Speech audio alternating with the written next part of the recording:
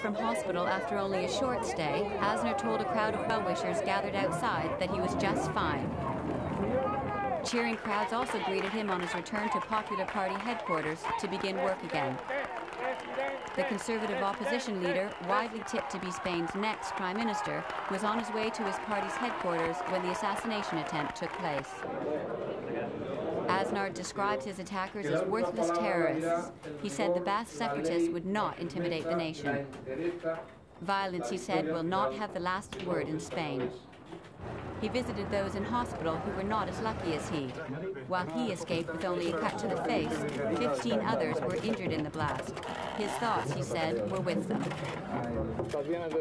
Spain's prime minister and other leading politicians condemned the attack as a blow against Spanish democracy and an attempt to destabilize politics.